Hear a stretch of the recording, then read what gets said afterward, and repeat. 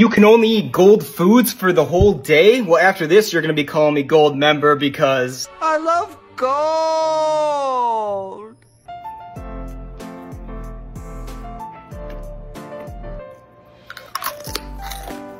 Ooh.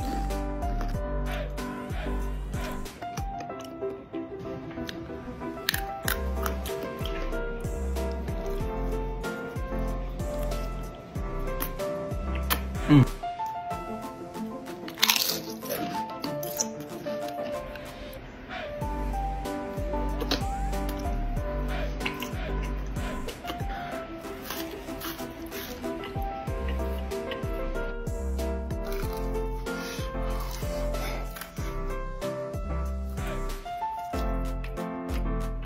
Mm.